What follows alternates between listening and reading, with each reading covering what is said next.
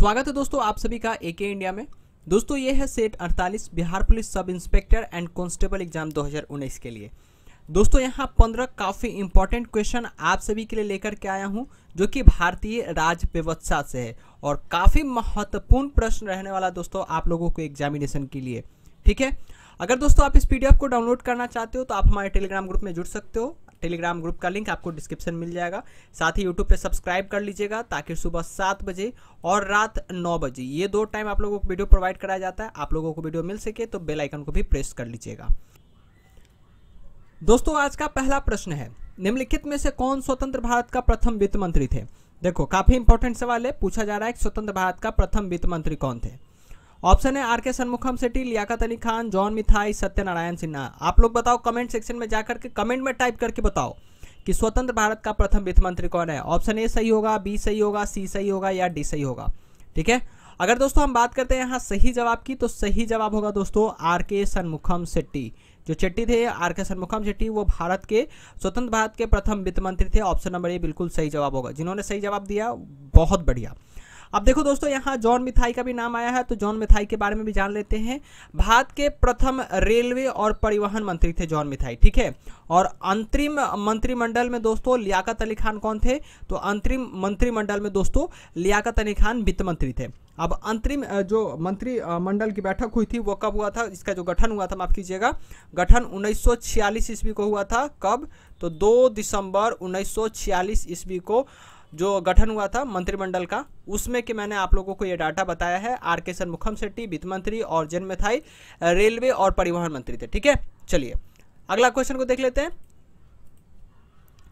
दोस्तों, यहाँ अगला क्वेश्चन है निम्नलिखित में कौन सा अनुच्छेद 26 नवंबर उन्नीस सौ उनचास को लागू हुआ था? देखो, काफ़ी इंपॉर्टेंट सवाल है और भी कुछ अनुच्छेद थे जो कि 26 नवंबर उनचास को लागू हुआ था। अब देखो दोस्तों, इस डेट को क्या हुआ था? तो हमारा संविधान जो था दोस्तों, अंगीकृत हो गया था। इस दिन जो था, वो बन के हमारा संविधान जो था, तैयार हो गया था और इस दिन कुछ अनुच्छेद को लागू भी किया गया था। ठीक है? तो आपको बताना है कि अनुच्छेद कौन सा लागू हुआ था उन्नीस सौ उनचास को? ठीक है, छब्बीस नवंबर उन्नीस सौ उनचास को कौन सा अनुच्छेद लागू हुआ था?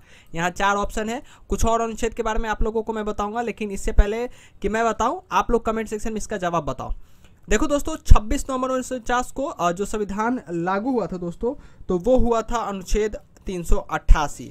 अब देखो दोस्तों, अनुच्छेद तीन सौ अट्ठासी ही नहीं, कुछ और अनुच्छेद थे जो आपको 26 नवंबर उन्नीस सौ उनचास को लागू हुए थे। जैसे कि अनुच्छेद पाँच, आप लोग नोट डाउन भी कर सकते हो, छः सात काफ़ी अनुच्छेद थे, आठ, नौ, ठीक है? मैं आपको यहाँ बता देता हूँ, साठ अनुच्छेद, जो साठ था वो फिर तीन सौ चौबीस, ठीक है? तीन सौ चौबीस के बाद दोस्तों तीन सौ छियासठ, तीन सौ सड़सठ, ये सब जितने भी अनुच्छेद है दोस्तों, ये इसी दिन लागू हो गया था 26 नवंबर उन्नीस सौ उनचास को। फिर दोस्तों 380 उसके बाद दोस्तों बारी आती है तीन सौ अट्ठासी। ये जितने अनुच्छेद का मैं नाम बता रहा हूँ दोस्तों, वो सारे अनुच्छेद जो थे 26 नवंबर उन्नीस को ही लागू हो गए थे। कुछ और अनुच्छेद हैं, जैसे कि तीन सौ इक्यानवे, ठीक है, तीन सौ बानवे और तीन ठीक है, तीन सौ बानवे और तीन सौ अंठानवे जो भी अनुच्छेद थे, ये सारे अनुच्छेद पाँच, छः, सात, आठ, नौ, तीन सौ अस्सी, साठ, तीन सौ चौबीस, छियासठ, सड़सठ, इक्यानवे, अंठानवे और बानवे। जितने अनुच्छेद थे दोस्तों, वो 26 नवंबर उन्नीस सौ उनचास को ही यहाँ लागू कर दिया गया था, ठीक है? और दोस्तों, अगर हम बात करें तो 26 नवंबर उन्नीस सौ उनचास को हमारे संविधान को अंगीकृत भी कर लिया गया था। जिन्होंने इसका सही जवाब ऑप्शन नंबर ए दिया है, बिल्कुल बढ़िया, बहुत ही बढ़िया, आप लोग और भी मेहनत करो और इसी तरह सारे क्वेश्चन का जवाब आप लोग बताओ, ठीक है? चलिए। दोस्तों, अगला प्रश्न है यहाँ पर कि भारत संपूर्ण प्रभुत्व संपन्न लोकतांत्रिक गणराज कब बना? देखो दोस्तों, यहाँ पर लोकतांत्रिक गणराज के बारे में पूछा जा रहा है कि भारत जो है संपूर्ण प्रभुत्व संपन्न लोकतांत्रिक गणराज कब बना? यहाँ ऑप्शन भी है। आप लोग इसका सही जवाब कमेंट सेक्शन में बताइएगा। अभी जाकर के बताइए, इसका सही जवाब क्या होगा?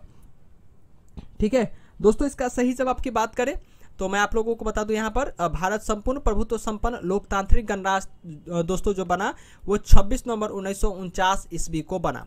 ठीक है? और इसी दिन हमारा संविधान जो था, अंगीकृत भी हुआ था। और इस दिन जो दोस्तों, कुछ हमारे संविधान भी यहाँ पर लागू किए गए थे, ठीक है? और 26 नवंबर उन्नीस सौ उनचास को हमारा जो प्रस्तावना है, इसे भी आज के दिन 26 नवंबर उन्नीस सौ उनचास को ही यहाँ पर लागू किया गया था, ठीक है? चलिए, आगे बढ़ते हैं।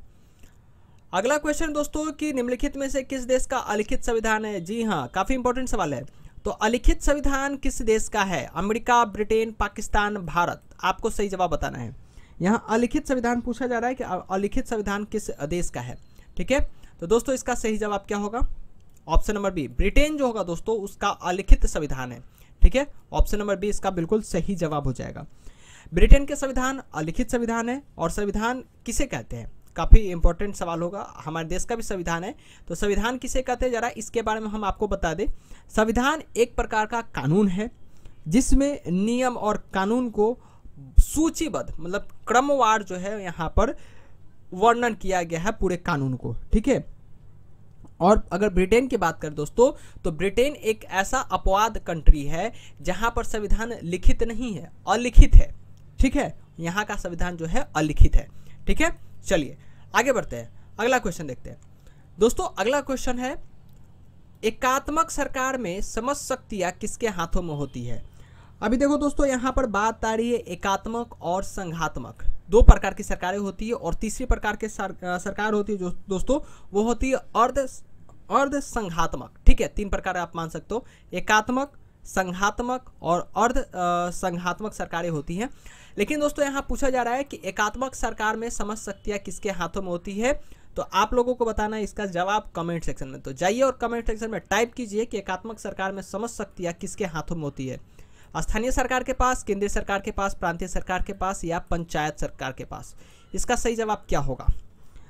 देखो दोस्तों, अगर इसके सही जवाब की हम बात करें तो काफ़ी इंपॉर्टेंट सवाल रहेगा आपके एग्जामिनेशन के लिए। एकात्मक सरकार से समझ सकती है किसके हाथों में होती है? तो दोस्तों, वो होती है केंद्रीय सरकार के पास।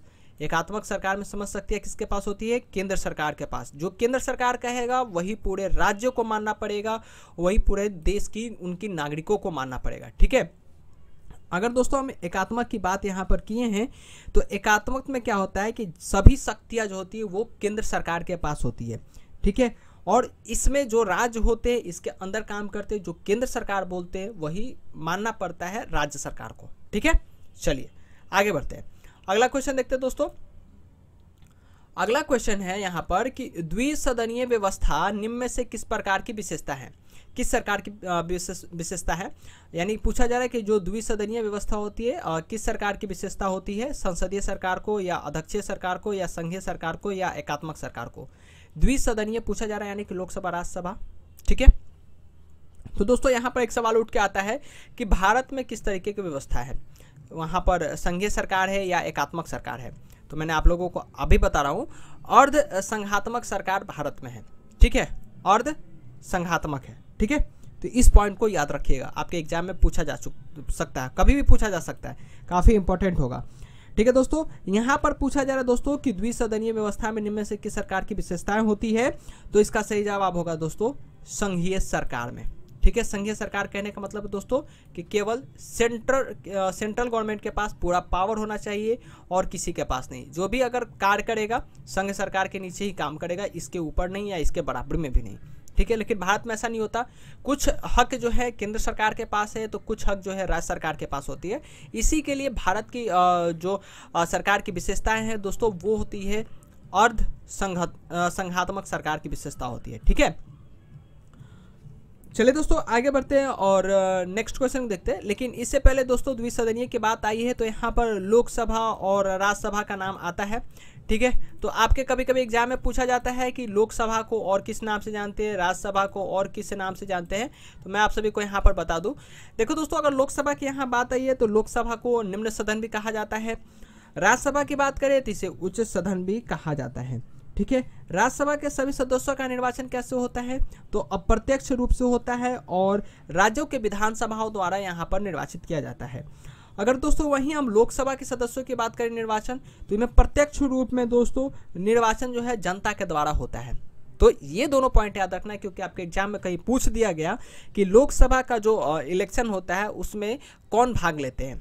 आम जनता भाग लेते हैं, ठीक है? और ये किस तरह का इनका इलेक्शन होता है? तो प्रत्यक्ष रूप से होता है। लेकिन राज्यसभा में विधानसभाओं द्वारा अप्रत्यक्ष रूप से राज्यसभा का मेंबर का चुनाव होता है, ठीक है? तो ये पॉइंट आपको याद रखना है। चलिए, आगे बढ़ते हैं। दोस्तों, अगला क्वेश्चन देखते हैं। अगला क्वेश्चन है कि शक्तियों का विभाजन एवं स्वतंत्र न्यायपालिका किसको दो महत्वपूर्ण विशेषताएँ हैं?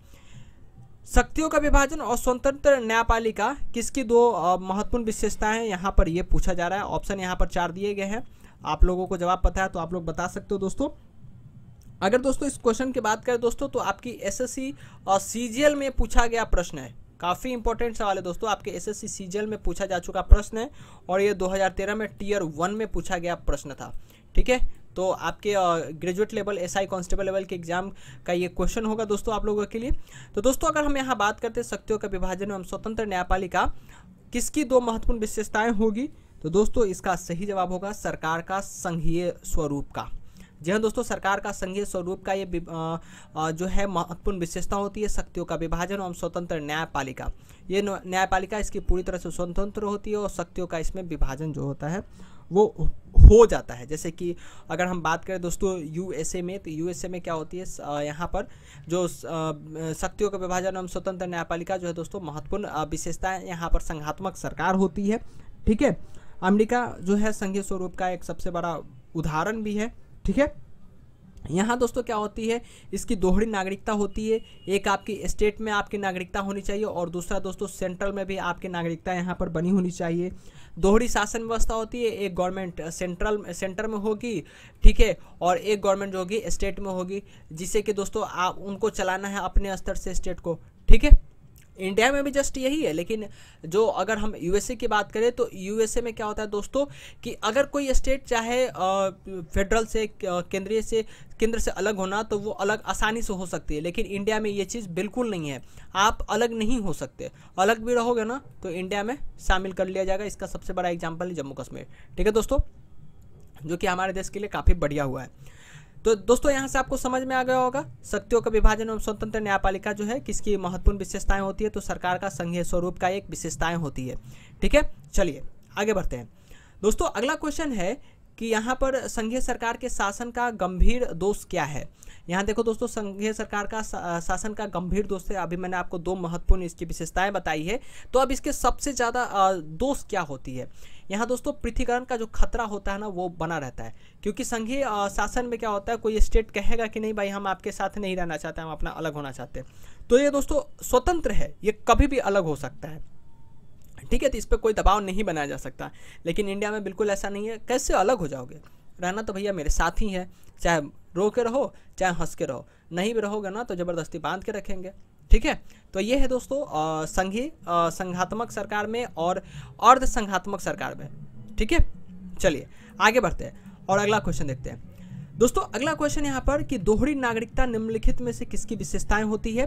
तो दोस्तों, मैंने आप लोगों को बताया दोहरी नागरिकता के बारे में, जो कि यूएसए में होता है। तो यूएसए में किस प्रकार की सरकार है? तो संघीय सरकार है। ठीक है? तो वहाँ पर आपको दोहरी नागरिकता लेनी पड़ती है, एक आपको स्टेट का, और उसके बाद दोस्तों, आपका एक सेंट्रल का, आपको यहाँ पर लेना ही पड़ेगा नागरिकता। तभी आप वहाँ पर रह सकते हो। ठीक है? चलिए दोस्तों, आगे बढ़ते हैं। अगला क्वेश्चन है आ, शासन आ, की एकात्मक पद्धति का लाभ है। देखो दोस्तों शासन शासन की एका, एकात्मक पद्धति का लाभ क्या है? कोई कोई पद्धति ऐसी है जिसकी लाभ भी है जैसे कि संघात्मक में मैंने बताया उसकी कुछ दोष भी है। उसी तरह दोस्तों एकात्मक पद्धति का लाभ क्या होता है? तो दोस्तों यहाँ पर अधिक अनुकूलशीलता दृढ़ राज जनता द्वारा अधिक सहभागिता या सत्तावाद का कम संभावना। तो इसका सही जवाब क्या होगा? अगर आप लोगों को पता है तो आप लोग कमेंट सेक्शन में ज़रूर बताइए। ठीक है? तो दोस्तों, अगर यहाँ पर हम बात करें दोस्तों, इसका सही जवाब की शासन की एकात्मक पद्धति का लाभ जो है, वो क्या है? तो दोस्तों, इसका सही जवाब होगा दृढ़ राज ये दोस्तों, एकात्मक पद्धति है। जो कह दिया, सो कह दिया, वो आपको मानना ही है। चाहे वो स्टेट हो, चाहे कुछ और हो। ठीक है? एक कंट्री के अंदर अगर कोई सेंट्रल गवर्नमेंट ने बोल दिया कि ये सही है तो ये सही है तो ये पूरे को मानना ही पड़ेगा, ठीक है? तो यही होता है दोस्तों, एकात्मक पद्धति, ठीक है? अगर एकात्मक पद्धति की बात करें तो एकात्मक पद्धति के तौर पे दो कंट्री है जहाँ सरकार चलती है। एक है ब्रिटेन और दूसरा है दोस्तों कौन?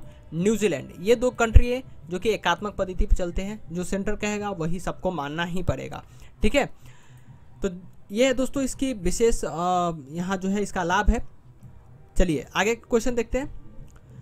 दोस्तों, अगला क्वेश्चन यहाँ पर कि संविधान में समासिक कंपोजिट भारत का वर्णन निम्नलिखित में से किस प्रकार किया गया है?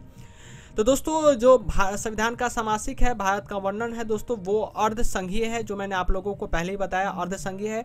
इसको संघीय भी कहा जा सकता है, इसको एकात्मक भी कहा जा सकता है, ठीक है? लेकिन ये कार्य दोनों तरीके से करते हैं, ठीक है? तो इसका सही जवाब क्या होगा? अर्ध संघीय है, ठीक है? चलिए दोस्तों, आगे बढ़ते हैं और नेक्स्ट क्वेश्चन को देख लेते हैं। देखो दोस्तों, अगला क्वेश्चन है, निम्नलिखित में से कौन भारतीय संविधान की एक विशेषता नहीं है? अब देखो दोस्तों, यहाँ पर विशेषता नहीं है। यहाँ ये बताना यानी कि विशेषता क्या क्या है, ये आपको पता होनी चाहिए। दोस्तों, अगर विशेषताएँ की बात करें तो संसदीय सरकार, स्वतंत्र न्यायपालिका, अध्यक्षीय सरकार या संघीय सरकार? इसका सही जवाब क्या होगा? आपको इसके पहले विशेषताएँ पता होनी चाहिए, तभी आप इसका सही जवाब दे पाओगे। अगर दोस्तों, हम भारतीय संविधान की विशेषता की बात करें तो संसदीय सरकार है, बिल्कुल सही होगा। स्वतंत्र न्यायपालिका है, बिल्कुल सही होगा। अध्यक्षीय सरकार नहीं, संघीय सरकार बिल्कुल सही होगा। संघ के रूप में काम करता है, ठीक है, सेंटर में इसकी सरकार है तो वो भी सही हो गया, ठीक है? तो जो अध्यक्षीय सरकार है, ये इसका गलत जवाब होगा, इसकी विशेषताएँ नहीं है, भारतीय संविधान की विशेषता नहीं है, अध्यक्षीय सरकार। अध्यक्षीय सरकार जो है इसका सही जवाब नहीं होगा, विशेषता इसका नहीं होगा, ठीक है? अब देखो दोस्तों, अध्यक्षीय जो शासन व्यवस्था है वो कहाँ कहाँ चलती है तो मैं आपको बता दूँ। अमेरिका में यूएसए की बात करें, यूएसए और फ्रांस, दो कंट्री है, ठीक है? यूएसए और फ्रांस जो है, दो कंट्री है जहाँ पर अध्यक्षीय सरकार जो है वहाँ पर चलाई जाती है, ठीक है? चलिए दोस्तों, अगला क्वेश्चन को देख लेते हैं। अगला क्वेश्चन दोस्तों यहाँ पर, एकात्मक एवं संघात्मक सरकार के वर्गीकरण का आधार क्या है? अब देखो, कैसे आप कह सकते हो कि ये एकात्मक सरकार है और ये संघात्मक सरकार है? इसको वर्गीकरण किस आधार पे किया जाता है? ऑप्शन भी यहाँ पर दिए गए हैं। आप लोग जाइए कमेंट सेक्शन में, बताइए इसका सही जवाब क्या होगा। ठीक है, काफ़ी इंपॉर्टेंट सवाल होगा आप लोगों के लिए आज का। काफ़ी वीवीआई सवाल है दोस्तों आप लोगों के लिए, ठीक है? काफ़ी वीवीआई सवाल है। एकात्मक एवं संघात्मक सरकार के वर्गीकरण का आधार क्या होगा? अगर आप लोगों का कॉन्सेप्ट क्लियर है एकात्मक और संघात्मक का तो दोस्तों इसका जवाब आप लोग भी दे सकते हो। काफ़ी ईजी है, ऐसा नहीं है। लेकिन दोस्तों, आपका यहाँ कॉन्सेप्ट जो है वो क्लियर होना चाहिए, ठीक है? अब देखो दोस्तों, अगर हम बात करें यहाँ पर एकात्मक और संघात्मक सरकार तो दोस्तों वो डिपेंड करता है केंद्र और राज्य राज्यों के बीच का संबंध। केंद्र अगर फैसला लेता है पूरे देश के लिए तो वो एकात्मक हो गया, ठीक है? और राज्य उसके साथ में है तो वो क्या हो गया दोस्तों? संघात्मक हो गया। केंद्र और राज्य दोनों है तो वो संघात्मक आपका हो जाएगा, ठीक है? दोनों के बीच को संबंध वर्गीकरण करता है, आधार करता है कि जो सरकार है, एकात्मक है या संघात्मक है, ठीक है? कि संघ के साथ है। केंद्र अकेले अगर काम कर रहा है पूरे देश में तो एकात्मक है। अगर केंद्र और राज्य दोनों मिलकर काम कर रहा है तो वो संघात्मक है। जैसे कि यूएसए में संघात्मक सरकार है। राज्य जब अलग होना चाहे, वो यूएसए से अलग हो सकता है। अपने तरीके के सरकार वहाँ चला सकते हैं। ठीक है? लेकिन भारत में ऐसा नहीं होता। मैं बार बार भारत का एग्ज़ाम्पल दे रहा हूँ, क्योंकि भारत जो है एकात्मक और संघात्मक के बीच में आता है अर्ध संघात्मक आता है। ठीक है? चलिए, आगे बढ़ते हैं। अगला क्वेश्चन है, भारत के संविधान है। देखो दोस्तों, अभी मैं काफ़ी टाइम से आप लोगों को यही सवाल करवा रहा हूँ। ठीक है, भारत के संविधान किस तरीके का है? काफ़ी इजी सवाल है अर्ध संघात्मक होगा। भारत का संविधान कैसा है? तो अर्ध संघात्मक ये जो भारत का सरकार है, वो है। ठीक है? और ऐसा किसने भी कहा है? एक व्यक्ति हैं, जिनका नाम है केसी वेहर। केसी वेहर जो है दोस्तों, केसी वेहर जो है वो उन्होंने खुद कहा है कि भारत का जो संविधान है वो अर्ध संघात्मक है तो आप के सी वेहर का भी नाम याद रख सकते हैं, प्रोफेसर के सी वेहर जो है, उन्होंने खुद कहा है ऐसा। ठीक है? चलिए। आखिरी क्वेश्चन को देख लेते हैं। आखिरी क्वेश्चन है दोस्तों यहाँ पर कि निम्नलिखित में से कौन सा संसदीय सरकार की की अतुलनीय विशेषताएँ होती है? संसदीय सरकार की अतुलनीय विशेषताएँ यहाँ पूछा जा रहा है कि इसकी विशेषता क्या होती है? ठीक है? संसदीय सरकार का अतुलनीय विशेषता इसमें से कौन सा है? ऑप्शन है संविधान का लचीलापन कार्यपालिका और विधायिका का संलयन न्यायिक सर्वोच्चता या संसद की संप्रभुता। इसका सही जवाब क्या होगा? आप लोग बताइए इसका कमेंट सेक्शन में इसका सही जवाब क्या होगा। दोस्तों अगर इसका सही जवाब की बात करें कि संसदीय सरकार का अतुलनीय विशेषता क्या होती है तो कार्यपालिका और विधायिका का संलयन जो होता है इसका बिल्कुल सही जवाब होगा। ठीक है? तो दोस्तों, ये थे टॉप 15 खतरनाक क्वेश्चन जो कि आपके Bihar police constable Bihar police sub inspector exam के लिए काफ़ी इंपॉर्टेंट है। अगर दोस्तों आप लोगों को क्वेश्चन इंपॉर्टेंट लगा हो, अगर आप लोगों को हमारे क्वेश्चन में मज़ा आया हो वीडियो आप लोगों को अच्छी लगी हो तो इसे लाइक ज़रूर कीजिएगा और अपने फ्रेंड्स के साथ ज़रूर शेयर कीजिएगा। और अगर आपने वीडियो को लास्ट तक देख ही लिया है तो चैनल को अभी तक सब्सक्राइब नहीं किया तो सब्सक्राइब कर लीजिए, ताकि आप लोगों को ऐसी वीडियो देखने की मिले और आप अपने इस वीडियो के माध्यम से, हमारे वीडियो के माध्यम से अपने एग्ज़ाम का तैयारी भी कर सके। पीडीएफ को डाउनलोड करने के लिए आप लोग टेलीग्राम ग्रुप में जुड़ सकते हो, जिसका लिंक आप लोगों को डिस्क्रिप्शन में दिया हुआ है, ठीक है? तो मिलते हैं आप लोगों से अगले वीडियो में।